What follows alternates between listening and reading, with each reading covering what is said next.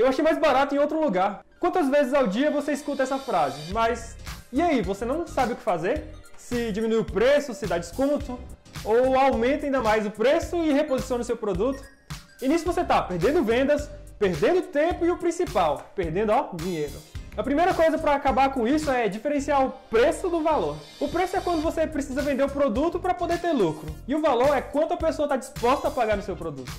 O problema é que isso nem sempre coincide. O preço você não pode baixar porque senão você sai no prejuízo. Então você tem que dar um jeito de aumentar o valor que as pessoas dão para o seu produto. Mas como fazer para aumentar o valor do produto? E melhor do que eu te falar é mostrar o que já fizeram antes. No lançamento do primeiro iPhone, Steve Jobs não vendeu só um telefone, mas sim três produtos em um só: um aparelho telefônico, um tocador de música e um navegador de internet. Depois disso, ele mostrou o quanto valeria um celular, mais um iPod e um computador e que junto tudo isso custaria mais ou menos 1.500 dólares. Porém, ele cobraria apenas 499 pelo iPhone.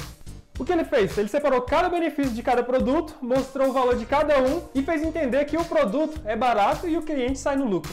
E essa é a primeira técnica que você tem que usar. O seu produto nunca é mais caro que o outro, ele tem mais valor que o outro. No caso da Apple, ela se tornou a companhia mais valiosa do mundo e hoje as pessoas pagam até 5 mil reais por um iPhone.